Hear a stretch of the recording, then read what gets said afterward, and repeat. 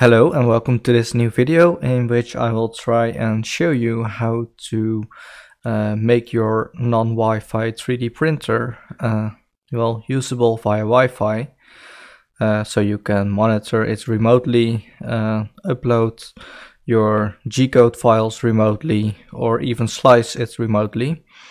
Uh, and uh, well control your printer from your computer over Wi-Fi and we are going to use a program called Octoprint uh, for that.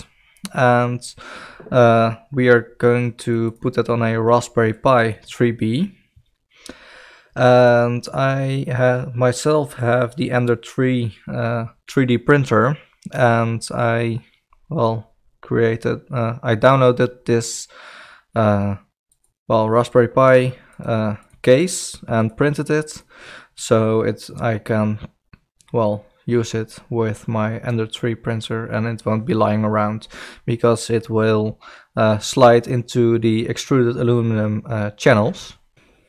Alright, so what we are going to need is the Octopi uh, image and well you can download it from uh, octoprint.org slash download. I already did that and extracted it and we're going to use a program called Etcher to flash it to the SD card. So we're going to open Etcher, uh, plug in our SD card, and Etcher should uh, well recognize our SD card. So no, I don't want the newest version. Doesn't matter. Uh, well, this is my SD card. I want to select the image, which is Octopi I open it and flash. Yes, and uh, well, this will take a minute, uh, and if it's done, uh, I'll be right back. Alright, now that uh, the SD card of the Raspberry Pi is flashed, we need to edit a file on the SD card, so we open the SD card and we go to the octopi wpa supplicant.txt. So I am putting my credentials in over here.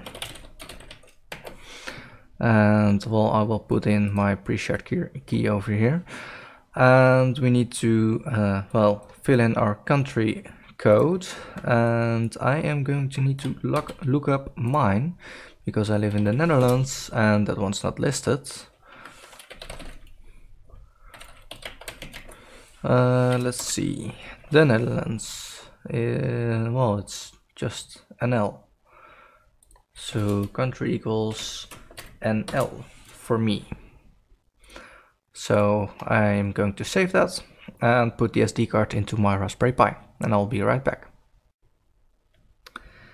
If you have booted up your Raspberry Pi, you can uh, well go into your router and get the IP address of your Octopi. Uh, I put mine in in here and I was a little bit too early I guess uh, because Octoprint is not yet running. Uh, so I will have a minute uh, to talk about something. Um, the IP address you can get from your router but uh, well not everyone uh, can get into his router or the IP address of the devices is not listed. So uh, what I uh, recommend using then is uh, use a phone connected to the same network as you are going to connect your Raspberry Pi with Octopi and get an app called Fing and with that app you can uh, well see all the devices uh, that are connected to your network they are will show up in a list and you can get the IP address uh, from there so I hope that that everything started up. It is loading. And I'm getting another an RF gun. So and I get another web page. It is a little slow, but it just started up, so I guess that's normal.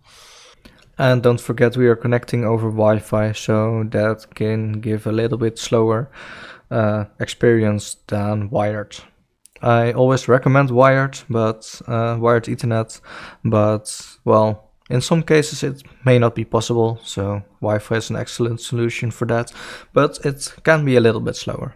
Alright, now that uh, we have connected to the OctoPi, uh, we get the setup wizard. So we're going to walk through that. So we need to set up access control, which I cannot recommend enough, especially if you're using uh, your OctoPi, uh, well, to monitor your 3D printer remotely. Uh, well, simply because it needs uh, you to put in a username and password, so not just everyone can get into your printer. So I am going to set up a username and password. Well, let's let LastPass generate a password for this and I'll say keep access control enabled. Alright, I'll say next. Uh, well, anonymous using disable. Uh, well, yeah, I don't need that. Alright. Uh, online connectivity check, uh, which is always handy. So I will enable that. And well, the plugin blacklist processing and is always a good choice to enable that because well simply if a plugin is on the blacklist it is not there for nothing uh, it may be malicious or something so uh, well I go I'm going to generic printer well that's fine uh, I have a rectangular bed, it's a heated bed. Uh, well, I'm going to look up the bed size and their three bed size. 235 by 235. Uh, 235 by 235 and print print print heights, how tall, uh, well, 250 220 220 250 all right Uh, well, I guess I forgot something. Access, well, it's fine. Hold an extruder. Yeah, fine. Uh, well, read this and then finish. And well, now we have all the things over here, uh, but we don't see a thing because we first need to connect it to our printer. So let me do that and I'll be right back. Alright, so I have connected uh, up everything and we need to make a connection to our printer. And well, I'm just going to leave everything on auto, save the connection settings and auto connect on server startups and we're going to connect. It says operational. Well everything is in here. And well the temperatures over here. We can well control everything. And well set everything we want. We can even view some G-code.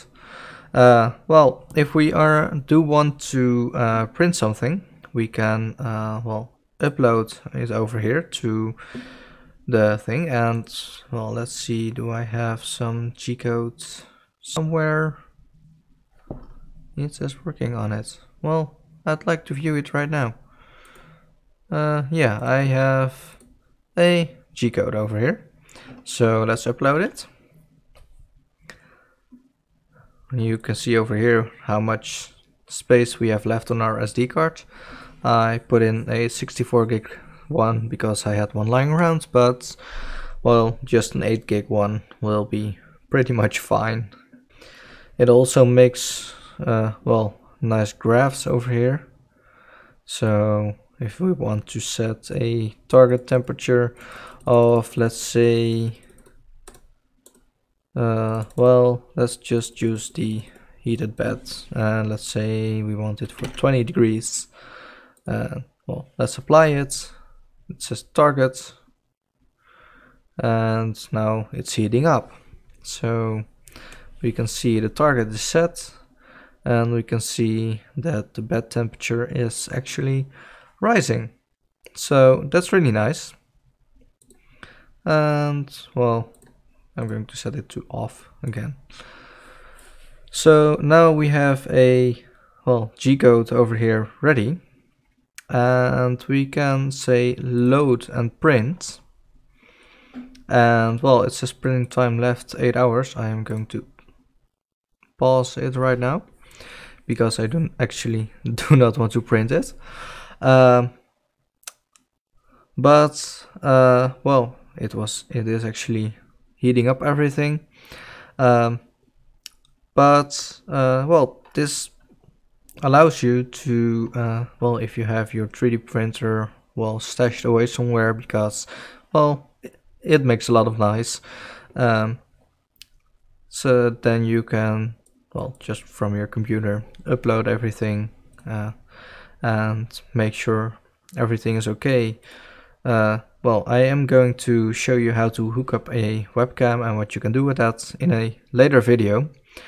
Um, but well this was the basic setup. You can use it like as is and uh, please look forward to my next videos. Subscribe if you want to see more content like this.